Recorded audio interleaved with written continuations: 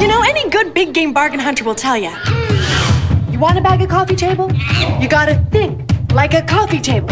Are you hunting for big bargains? We're holding over Leon's Big Big Boxing Day sale. It's your last chance to bag bargains like this Inglis super capacity washer and dryer team for only $7.98. And you don't pay anything until 2003. But tally ho, it's all over this weekend. And the best part is, there are no size restrictions.